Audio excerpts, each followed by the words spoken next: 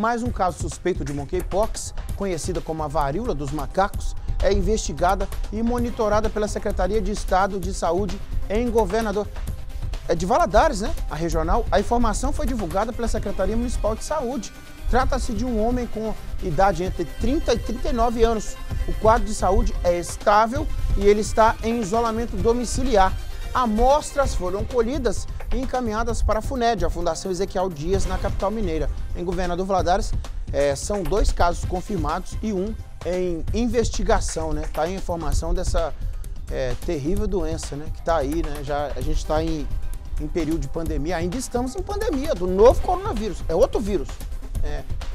E a OMS declarou né, emergência global de saúde por causa desse terrível vírus aí, a doença da monkeypox, conhecida como a varíola dos macacos.